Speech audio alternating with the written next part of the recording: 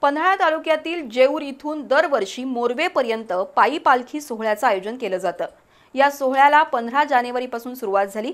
आज पंचगंगा नदी घाटापासून चिले महाराजांच्या पालखी मिरवणुकीचं आयोजन केलं होतं. ठिकठिकाणी भाविकांकडून या पालखीचं स्वागत करण्यात आलं तसंच प्रसादाचं वाटपही करण्यात आलं.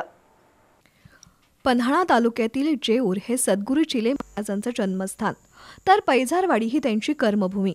या ठिकाणाहून दरवर्षी सातारा जिल्ह्यातील मोरवेपर्यंत पायी पालखी सोहळ्याचं आयोजन केलं जातं. गेली बावीस वर्ष हा सोहळा संपन्न होतोय. पंधरा जानेवारी रोजी जेऊर इथून पायी पालखी सोहळ्याला सुरुवात झाली. पैजारवाडीहून आलेली पालखी कोल्हापुरातील पंचगंगा घाटावरील श्री गुरु सिद्धेश्वर बुवा महाराज मंदिरापर्यंत आली. तिथं पालखीचा मुक्काम होता. राज्य नियोजन मंडळाचे कार्याध्यक्ष राजेश क्षीरसागर सेवानिवृत्त पोलीस उपाधीक्षक आर आर पाटील माजी नगरसेविका माधवी गवंडी शिवाजी जाधव राजू मेवेकरी यांच्या हस्ते आज पंचगंगा नदीघाटापासून पालखी मार्गस्थ झाली.